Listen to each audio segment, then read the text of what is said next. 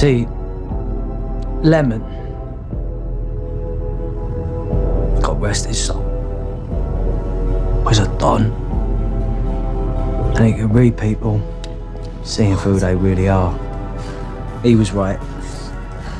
There's been a diesel running up and down his train, causing all sorts of fucking havoc.